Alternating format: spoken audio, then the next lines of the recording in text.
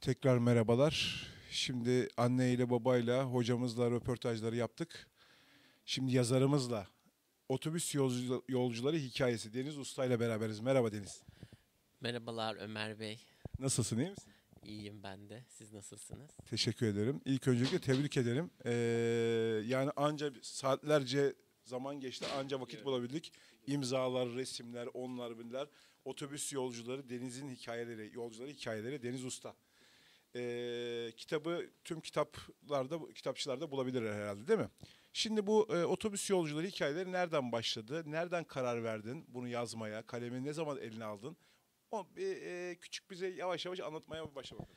Nedret Hanım'a bilen danışanlığa ilk gittiğim yıllarda Nedret Hanım'la ikimiz böyle bir yolcu hikayeleri yani sanki biz o ben otobüse gidiyormuşum da o olayları yaşıyormuşum gibi böyle bir kurgu yani kafamızda canlandı E, yani benim canlandı. Hani en fazla bir iki hikayede bana akıl vermiştir ama sonradakiler benim aklıma daha çok gelmeye başladı yazdıkça yazdıkça. Çünkü sanki ben o otobüsteyim de o yolculardan biriyim de her gün o yol yanıma oturan yolcuların hikayeleri, olayları vesaireleri sanki hepsi ben yaşıyorum, ben karşılaşıyormuşum gibi kalemi elime aldım. Böyle iç dünyamda oluş, gelişen olaylar kalemime yansıdı. Ben de onları yazdım. Hayal dünyan çok geniş galiba. Genişletmeye mi çalışıyorsun? Yani e, hani sana bir olay veriyorlar. Mesela Nedret Hoca sana demiş ki bir otobüsün içinde kendini hayal et, yazmaya başla. Evet. Bundan sonraki süreç e, yani senaryo yazmaya başlamışsın, sinema filmi yazmaya başlamışsın gibi bir şeyler söyledi.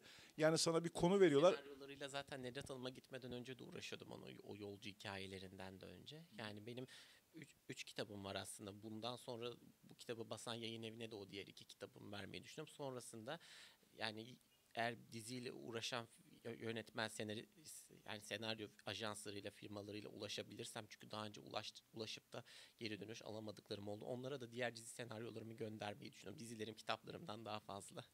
Maşallah maşallah. Filmin içeriği nelerden bahsettin mesela? İçeriği nedir?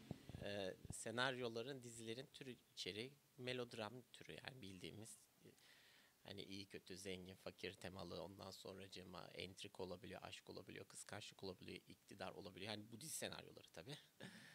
Bunlar oluyor. Bunlar oluyor. Ee, değişik bir şeyler varmış. Şu anda mesela Türkiye'de e, son yıllardaki diziler hep aynı içerikler. Geçmişte yaşananlar, yaşatılanlar, yaşanacaklar hep aynı şeyler. Senin yazdığın projelerde değişiklik bir şeyler var mı?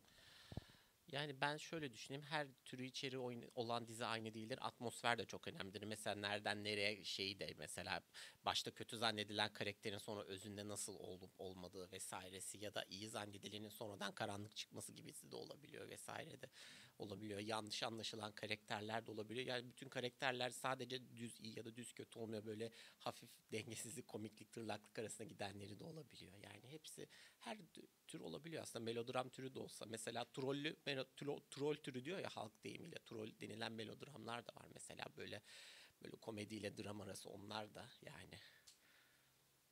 Dizilerim daha fazla sevdiğim iş olduğu için yöneliyorum yani. Çok güzel ya. Yani gerçekten Bir de gençlik dizilerimiz de oluyor. Onlar da biraz melodram türü. Gençlerin ai- ailelerinin o- olayları sonra gençlerin kendi gittiği okuldaki olaylar vesaireler yani. Onların da dünyalarında çünkü aşk oluyor. Aslında çocuk dünyasında da böyle yetişkinlerinki gibi yaşanmasa da böyle his anlamında, duygu anlamında olabiliyor böyle. Hani bazen e, şunu sormak istiyorum. E, kitap yazan insanlar e, tabii sen evin içinde hayal kurarak yapıyorsun. E, gezerek gördüğün yerlerde onların içerisine katıyor musun bir şeyleri peki? Gezdiğin, gördüğün yerler vardır, yaşanmışlıklar vardır. O yaşanmışlıkları bunların içerisine katıyor musun?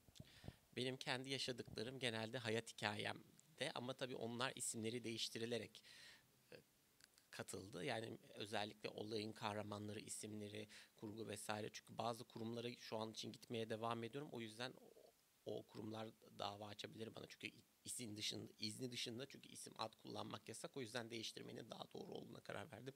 İşte benim gerçek yaşanmışlıklarım o hayat hikayemdi. Onları kattın içerisine ve katmaya devam edeceksin. evet. Biz senin takipçin olacağız. Ee, bu kitaptan biraz daha bahsetmek istiyorum. Ee, yaş ortalaması falan mesela e, var mı? Her insan mı okuyabilir? 7 yaşında, 9 yaşında, 15, 25, 30 diye bir sınırlama var mı?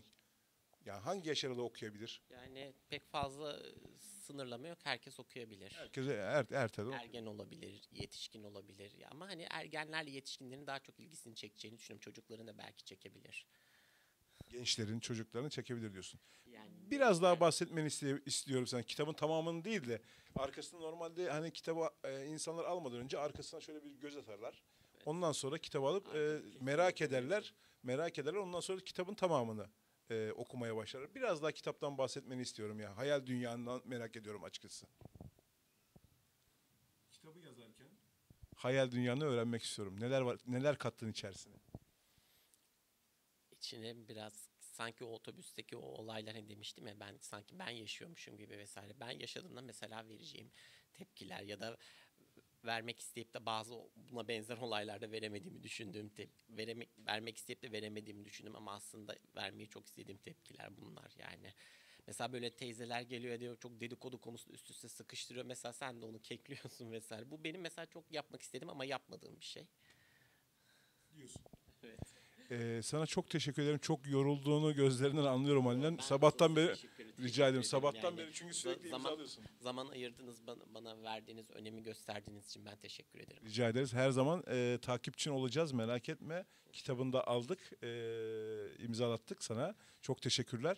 E, bundan sonraki süreçteki insanlar senin kitabını neden alıp okusunlar? Neden e, seni nasıl tanısınlar? Ondan biraz bahset. Bir mesajın var mı Ee, insanlara? Asperger ya sendromu otizm kesinlikle hiçbir alanda başarılı olmaya engel değildir. Yani bunlar da diğer bu tanıyı barındırmayan insanlar gibi ilgili olduğu, istekli olduğu alana yönelebilir, başarabilir. Çünkü ülkemizde bunların başaramayacağını düşünebilen kesim var. O, o zihniyette insanlar var. Bu onların algılarını bir nevi artık biraz onların da şimdi bakış açılarına bağlı ama ben bir nevi bu etiket üzerime yapıştırılan etikete rağmen başardım. Yani ama tabii yaşam koçum ve siz olmasaydınız zor olabilirdi bunu da atlayamam. Ya burada da şimdi konuşmalara baktığın zaman e, ayrışma yapan insanları hiç e, kafamıza takmamamız gerek. Çünkü onu yapan insanlar bu ders e, sendromların bilmediklerini, bilseler belki öyle davranmazlar. Eğitimle alakalı sen gerekli eğitimleri e, almışsın. E, okul bazında alamasan da dışarıdan kendin bir şeyleri başarmışsın da devam ediyorsun.